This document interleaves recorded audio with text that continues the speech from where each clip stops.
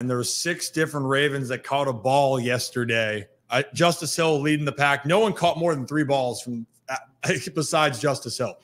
It was actually, I'm sorry, Derrick Henry caught three and Justice Hill caught six. Yep. Those are your two leading reception getters for the Baltimore Ravens in week four. But I think that's what makes it, you know, for a uh, offense, what makes it hard to be able to defend that, right? And so, and I think in those cases, and you don't believe us saying this, right? Well, I think there's someone that maybe has a little bit of credibility. He's won a few Super Bowls up in New England, and he's a, a Maryland native. How about Bill Belichick, Zach? Bill Belichick was praising this Ravens offense on the Pat McAfee show. Why don't we play that clip of Bill explaining just how hard it can be to stop what Baltimore's doing? Ravens team, I think, is now playing like the team everybody thought they were going to into the season. Do you agree with that? Yeah, I do. I think they definitely found their stride here the last couple weeks. Um, coming off of last year's game with the uh, Chiefs, not running the ball enough, running game, getting established. It's so much easier to do that when you play from ahead getting off to a good start like they did last night. And uh, of course, Derrick Henry, once he gets rolling, um, he's he's tough to stop. Uh, I think a little bit of Buffalo's situation got exposed last night, just their overall size and physicality.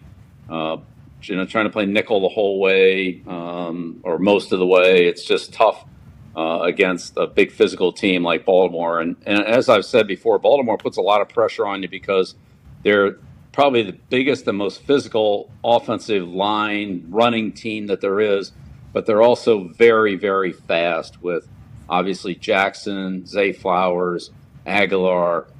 The receivers are very fast. So if you put too much size and not enough speed out there, you got problems. And if you put too much speed and not enough size out there, um, you got problems too. I think is. So you heard Bill just say the Ravens are very physical. The Ravens have fast players, and they might not be the ones that you want. How about they have big and fast players? Derrick Henry's top speed. Do we have that exact number, Kevin, on that one? Twenty-one point uh four six, I believe it was. He, he was right, right behind, but he was right behind Xavier Worthy, who ran a four two one at the forty yard yeah. dash this past uh, yeah. combine. So, yeah. and that that man is 6'4", 245. and he you think he's losing a step getting into his age 30 might, season? Might I, I was told all off season that there was no way he doesn't, but I will uh, I gotta say from firsthand experience, it does not look like that, man. I think my favorite tweet from last night was someone said a guy Derrick Henry's size should never be physically allowed to run at the speed of Derrick Henry. Like it just makes no sense. He, he's bigger than everyone and he's somehow faster than everyone as well. And that's terrifying. And you know what, though? What, what I love with Baltimore in general, what happened last night. And Rick, you're saying this. You don't mean to repeat yourself and saying, you know, when, when you run the ball, it sets everything up. Baltimore is always going to be a, a run first team, and they should be, especially with the weapons that you have. I mean, Derrick Henry just short of 200 yards. Lamar Jackson is Lamar Jackson, makes things happen. But that's what makes the Ravens then be so unpredictable. And hey, guys, how about the offensive line? Shout out the offensive line here for a second. They Shout were out the offensive line. They were moving people.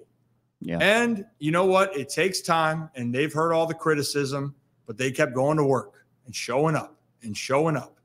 And that was the most dominant performance that they've had all season. And hopefully, if that can continue on, you got to love where the Ravens are at this point in time, right? It was just, yeah, that, that was the ass beating we were hoping to see against the Raiders.